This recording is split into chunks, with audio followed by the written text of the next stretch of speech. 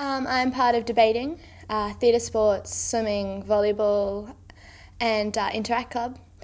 I am uh, also part of James Bond, which is uh, this year's musical, and I am a St Paul's school captain. I think it's been something that I've had, yeah, pretty much throughout the whole time that I've been at St Paul's. I mean, I didn't go for a leadership position in year nine because I didn't feel like I truly, I didn't feel like I had exactly what it took to be the leader of the middle school. But as I, you know, fit into my surroundings more, I found that it was something that I really wanted to do, and I was fortunate enough to achieve that.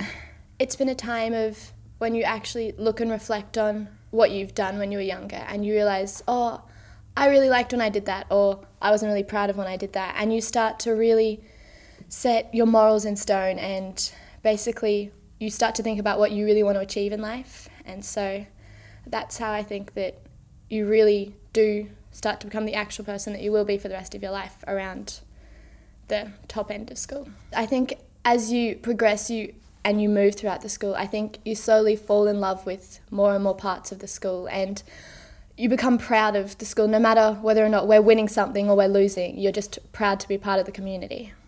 It's some it's a it's like a second home for many people. It's really special to a lot of us.